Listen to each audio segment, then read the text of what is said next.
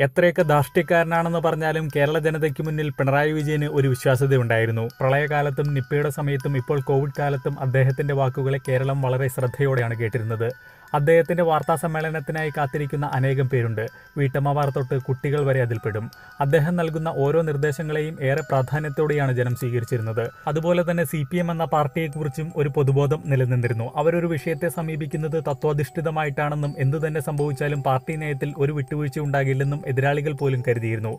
പക്ഷേ ഈ രണ്ട് ഘടകങ്ങളും ഇപ്പോൾ ചോദ്യം ചെയ്യപ്പെടുകയാണ്. സ്വർണക്കടത്ത് കേസിലൂടെ മാത്രം സംഭവിച്ച കാര്യമല്ല ഇത്. പിണറായി അധികാരമേറ്റെടുത്തതു മുതൽ ഇത്തരം പരസ്പര വിരുദ്ധമായ പല സമീപനവും നാം കണ്ടു. അതിൽ ഏറ്റവും പ്രകടമായ ഒന്നായിരുന്നു വെള്ളാപ്പള്ളി നടേശനുമായുള്ള ചങ്ങാത്തം. മുമ്പ് സി പി എം പ്രതിപക്ഷത്തിരുന്നപ്പോൾ പിണറായിക്ക് വെള്ളാപ്പള്ളി വർഗീയ വിഷം അമ്മിപ്പിക്കുന്ന ആളായിരുന്നു. മൈക്രോ ഫിനാൻസ് തട്ടിപ്പിൽ ഉൾപ്പെടെ വെള്ളാപ്പള്ളിക്കെതിരെ അതിശക്തമായ നിലപാടാണ് സി പി എം കൈക്കൊണ്ടിരുന്നത്. പക്ഷേ പിണറായി സർക്കാർ അധികാരത്തിൽ വന്ന ശേഷം ഒരൊറ്റ രാത്രി കൊണ്ട് ഈ നിലപാടെല്ലാം ആവിയായി. വെള്ളാപ്പള്ളി പിണറായിക്ക് വേണ്ടപ്പെട്ടവനായി. വെള്ളാപ്പള്ളിക്ക് വർഗീയ ഭ്രാന്താണെന്ന് നേരത്തെ പറഞ്ഞ പിണറായി പല വേദികളിലും അദ്ദേഹത്തെ പുകഴ്ത്തി. വെള്ളാപ്പള്ളി നയിക്കുന്ന എസ് എൻ ഡി പിയുടെ പേരിലുണ്ടാക്കിയ പാർട്ടി എൻ ഡി എക്കൊപ്പം നിന്നിട്ടും പിണറായി വെള്ളാപ്പള്ളിയെ തള്ളിയില്ല. ആ പാർട്ടിയുടെ നേതാവായ തുഷാർ വെള്ളാപ്പള്ളി ചെക്ക് കേസിൽപ്പെട്ട് ഗൾഫിലെ ജയിലിലായപ്പോഴും ആദ്യം ഇടപെട്ടത് പിണറായിയാണ്. അതുമാത്രമല്ല കേരളത്തിലെ നവോത്ഥാന നായകനായി വെള്ളാപ്പള്ളിയെ വാഴിക്കാനും പിണറായി മടി കാണിച്ചില്ല.